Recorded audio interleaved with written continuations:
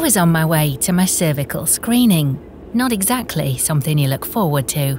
At first, I didn't think I needed to do this. I thought I wasn't at risk of cervical cancer.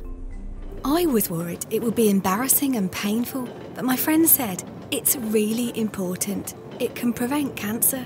And my girlfriend said I could ask for a woman to do the test and she'd come with me, so I thought, Let's do it. When I got there, I was nervous. But the nurse was really nice. She does these tests all the time. I took my jeans and pants off and lay down on the bed with my knees up and my legs open. The nurse carefully put something called a speculum into my vagina to help her see my cervix. Then she used a small soft brush to take the sample.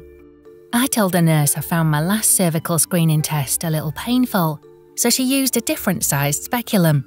She made sure I was okay while she did the test. It didn't hurt this time, it was just a bit uncomfortable. That's it, all done. Are you okay? It was all done in a few minutes, and then I went back to work. They'll send me a letter with the results. And if they do find anything unusual, they can monitor me and give me treatment if I need it to prevent cervical cancer from developing in the first place.